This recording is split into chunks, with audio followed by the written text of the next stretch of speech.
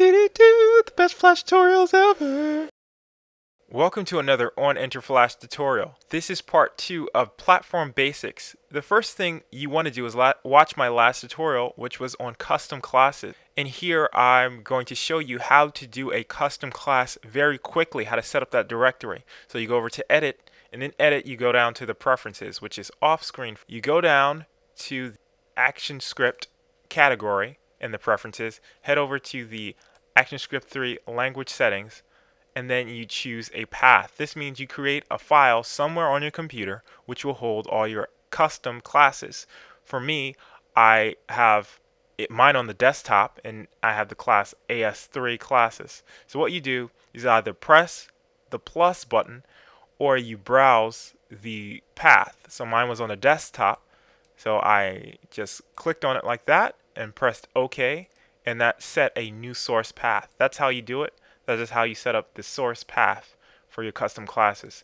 Now I'm using one custom class for this tutorial it's from Senocular.com. You go to Senocular.com slash flash slash actionscript.php and inside of here you go to the ActionScript 3 folder, com, Senocular, utils.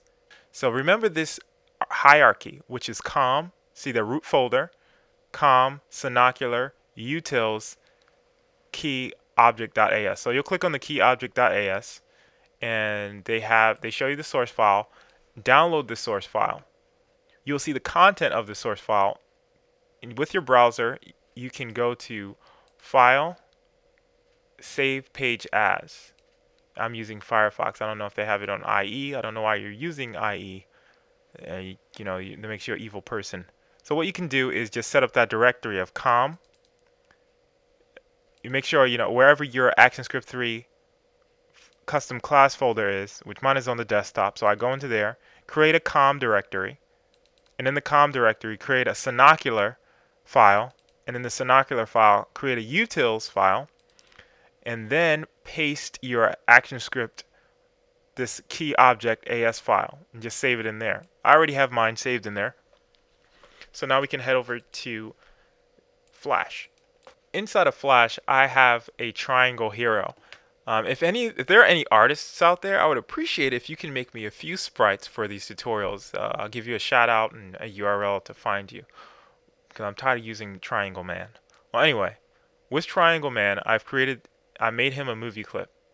Go inside of your library and right click on your hero movie clip or while you're creating him you'll see the properties or select the properties and what you want to do is export for ActionScript export in frame 1 of course and give it a class name remember this whatever you name it my library name is hero but my class name is hero underscore core this is very important because when we start creating the class um, we're going to reference this name again. So make sure you give it a good name that makes sense. What we're doing is, what you want to do now is just save your FLA. So I'm, I saved it. I'm just going to go save. I named it plat2.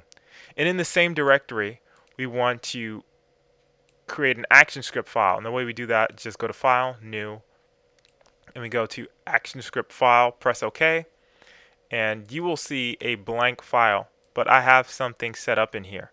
I'll just go over it. Not too much setup. We have package, and inside of package, I put those all that inside of parentheses. Then I import the remember com dot senocular utils dot asterisk, which will bring in everything from the utils folder of that directory. And we have to import flash display movie clip. We have to import flash.events dot event. There we go.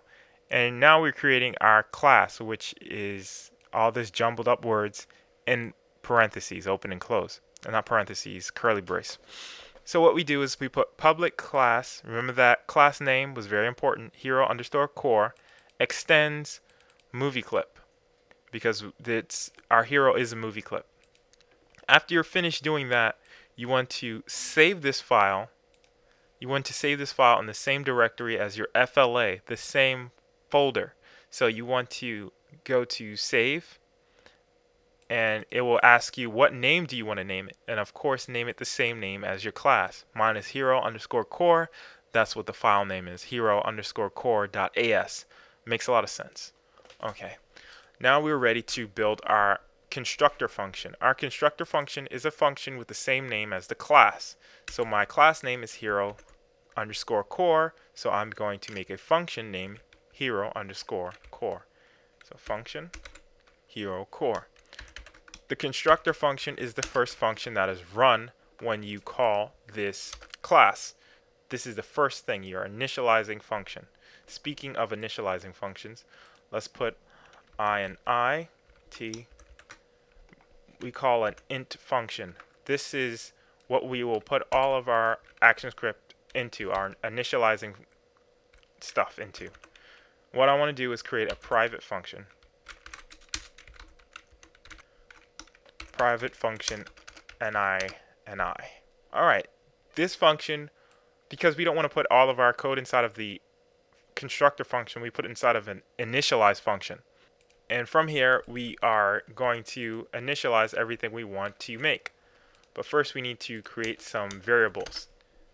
First variable, dx, and that is a number.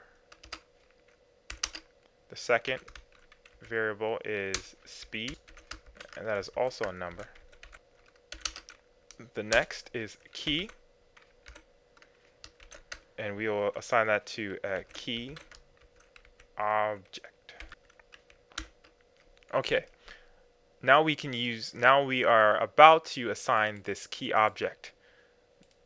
Uh, remember, it's com.senocular.utils.star. This is important. This is how we get to use this item right here. That's the whole point of this. So anytime you want to use the keyboard codes, you need to do this. All right, fine. We're, we're, we're ready to go. So dx, we are going to assign it inside of the int function. We won't let me move this down. We're going to assign that to 0. Speed, we're going to assign that to 1. And we need to add an event listener. And this event listener listens for when the hero is put on stage. Event dot add to stage. I'm going to put on stage. And this will be a private function also. I'll just copy this. The reason why I needed to do this is because when we add this key object, we need the stage to have a reference. So just copy that over here. On stage E event.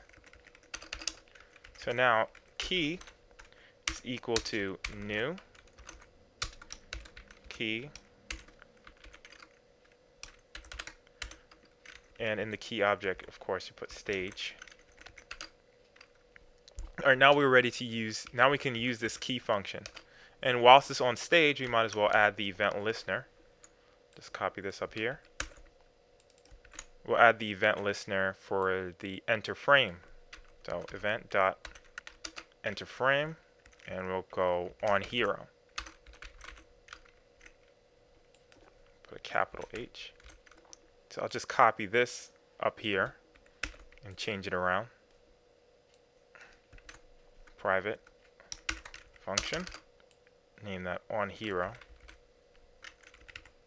And on hero now we can use that those if statements if key dot is down. And inside here we'll put key dot left. Open curly brace. And we can copy this again and just change it for the right key for the right side of the keyboard or the right side and what I want to do is add to the DX and for left is minus equal. And of course remember the number. Speed. We'll use that variable. And I'll just copy and paste that down there. Instead of minus we put a plus. And to top it all off, we put the dx has to add to the x of the hero, so plus equal dx. So now we should have a move-in hero. So now we're ready to test it out. And the way we do that is we need to go on the first frame, and let's go inside of the actions panel, and what we do is we type in a code like this. We give it any any name we want. I'm I could name it Bob. Bob is of the type movie clip, and we equal it to the new that hero class, the hero underscore core class that we just created.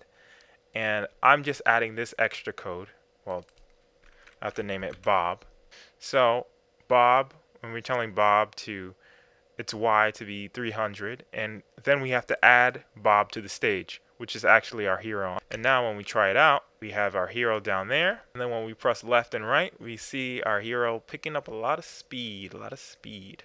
So thanks for watching this OnEnter Flash tutorial. If you like these tutorials, don't forget to rate, subscribe, comment, and uh, you can go to my website and click on an attitude to support onenterflash.com. Also, just be mindful that all the code that you see here can be found on the website.